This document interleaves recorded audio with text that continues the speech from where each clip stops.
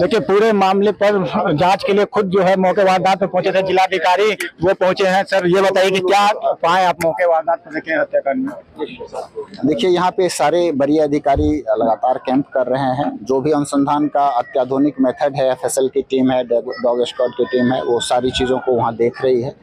तो जो भी दोषी हैं, वो बक्से नहीं जाएँगे और प्रशासन पीड़ित परिवार के साथ है। हम सांत्वना व्यक्त करते हैं और जो भी इसमें इन्वॉल्व होगा जो भी अपराध में शामिल होगा तो उसे निश्चित रूप से सजा मिलेगी। मौके वारदात को सर आपने देखा क्या लगा? घटनास्थल को देख करके प्रथम दृष्टिया यही है कि रात में कुछ लोग घुसे हैं। और घुस करके इस प्रकार की घटना कारित हुई है कारित हुई है। क्या लगता है सर ये चोरी का मामला है या ब्यूटी हत्या किया गया जानबूझ के? जब तक अनुसंधान कंप्लीट नहीं हो जाता है तब तक कोई भी निष्कर्ष पे पहुँचना सही नहीं होगा।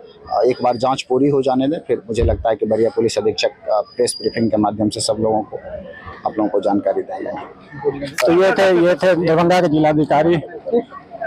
कुमार रोशन, वो राजीव रोशन जिन्होंने बताया कि जो है कैसे पुलिस जो है वो जाँच कर रही है। हालाँकि जाँच से पहले कुछ भी कहा पाना मुश्किल है, लेकिन ये अब माना जा रहा है कि ये हत्या थी और जानबूझ के हत्या की गई है। हालाँकि पुलिस दिशा तो मिलने की बात कही है।